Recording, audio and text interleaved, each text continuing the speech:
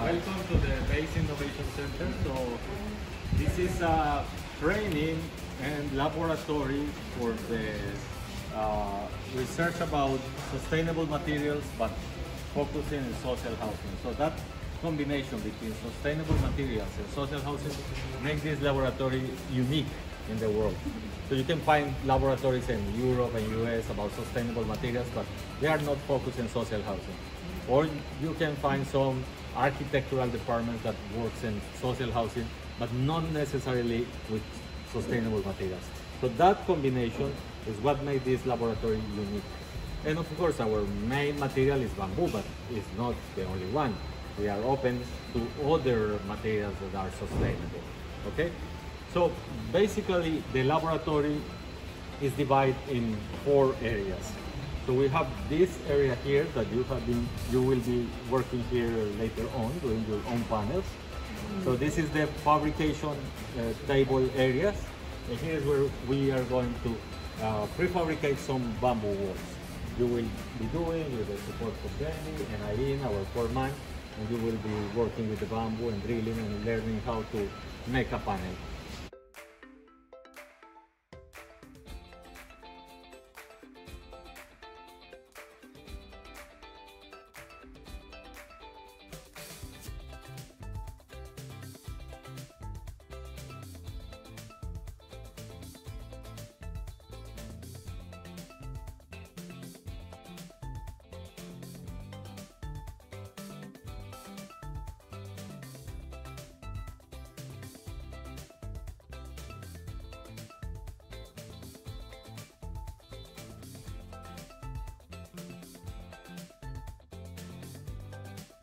Uh, we have strip footing, then the foundation wall, and then uh, slab on grade.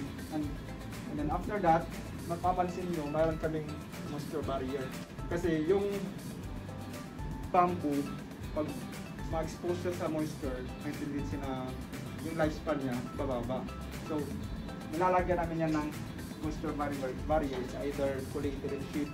Then panel installation, so right after the foundation and cement slab on grade, so i-install na namin yung panels, then fixing of bolts, para pag-connect uh, pag-connect namin yung walls and then grouting.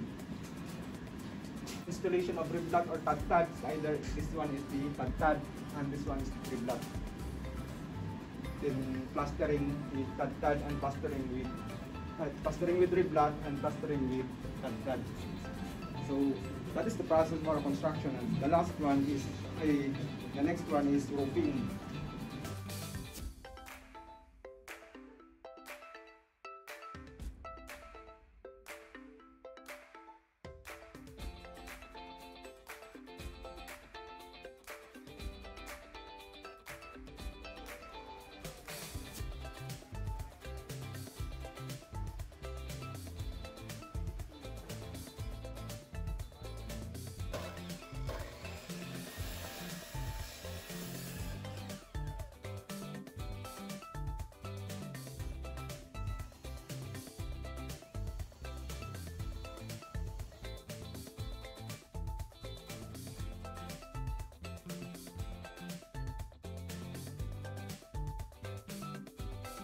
Uh, the maximum spacing of our bamboo stud should be 600 mm. This one here is disconnected to our foundation. Makita nyo kanina may bamboo dowel yan. Then at least two internodes, meron yung ano, meron yung grout. We provide flat bar as base para matibay yung structure ang wall mo. Kasi pag wala kang flat bar, medyo mahina yung resistance natin sa lateral load. This is brace that will help to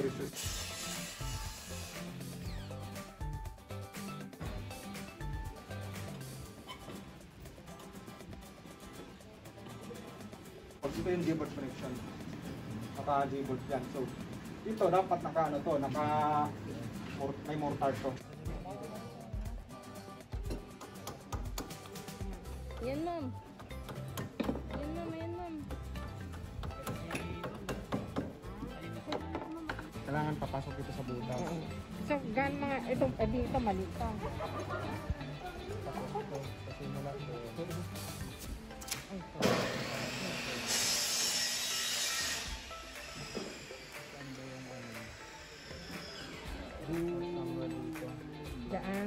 Pwede ito sa ano ma'am, Ah, ito na yung ano natin, mortar.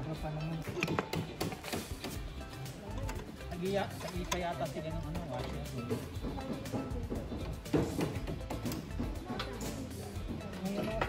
Yan, yan, yan. Sige, nakala.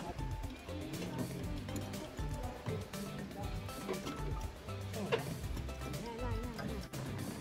This is the foundation of pedestal. At least two internodes, meron kang ano, meron kang ah, cement mortar. And then, ang critical dito, dapat yung ano natin, yung pools, dapat hindi parallel, hindi aligned. Kasi pag parallel siya, it can cause crack.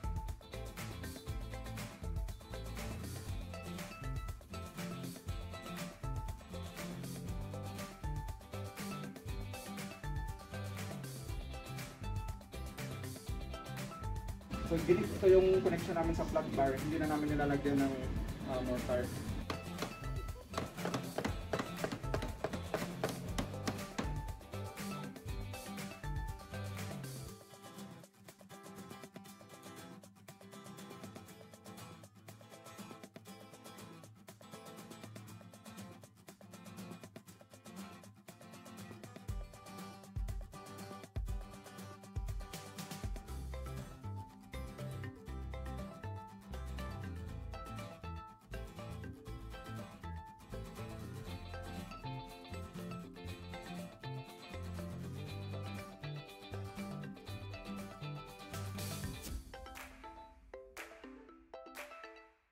What what we are looking here is two alternatives for the cladding of the house.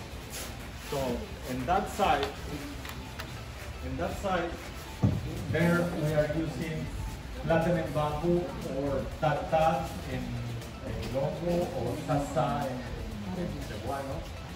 And then uh, after that you apply uh, chicken mesh and then the plaster. But inside you will see the, the platinum bar. That's one alternative. Second alternative is this special mesh that you have here or in that panel that is outside the house. This mesh is, is, is designed to be plastered. So you don't need anything else, just a mesh. So you plaster outside and later on you plaster inside and cover that. The problem with this mesh is that you need to import it. So it's not available in the Philippine market. It, came from China. Instead of that, that you can produce locally and you create more jobs, you use more bamboo, your house is greener and additional, it, it, it will be more fresh. Metal mesh, always you will have mortar between the two bamboos because you need to cover the two sizes of the house. Normally the plaster is something between one and a half centimeter to three centimeters because the plaster cover the irregularity of the bamboos. So you don't, bamboo is not perfectly uh, so you need to cover the, the imperfections.